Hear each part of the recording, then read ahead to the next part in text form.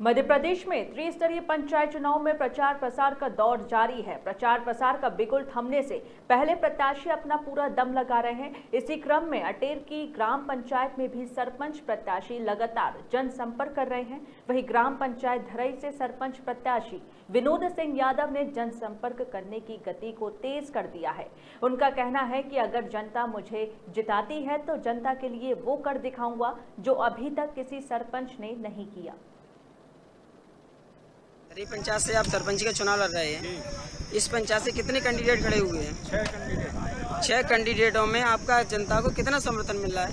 हमें जनता का पूरा समर्थन मिल रहा है पूरा सहयोग। जो हमने सोचा नहीं था इतना सहयोग कर रही है जनता। सब जगह स्वागत सत्कार चल रहा है हमारे। पूरी जनता पूरी पंचायत का हमें समर्थन है। शहर में हम नालीपुरा से विनोद सिंह यादव को जिताना चाहते हैं।